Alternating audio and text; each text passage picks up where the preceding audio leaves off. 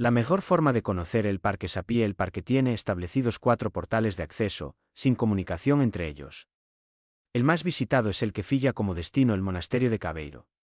Las laderas inclinadas solo permiten esta entrada siguiendo el curso del río a través del coto pesquero de Hombre, a 10 kilómetros de Pontedeume. Desde el refugio de pescadores de Cal Grande en la temporada de verano, el paso con vehículos está restringido, pero existe transporte colectivo. El Parque Natural Fragas do Eume es un lugar impresionante.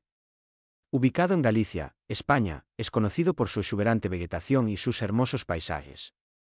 Este parque alberga uno de los bosques de ribera mejor conservados de Europa, con una gran variedad de flora y fauna. Puedes disfrutar de rutas de senderismo que te llevarán a través de frondosos bosques, a lo largo del río Eume, y descubrir lugares como el monasterio de Cabeiro, que es un sitio histórico muy bonito.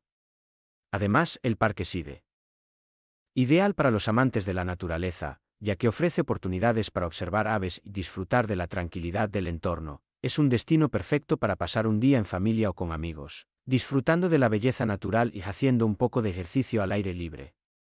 Espero que tengas la oportunidad de visitarlo.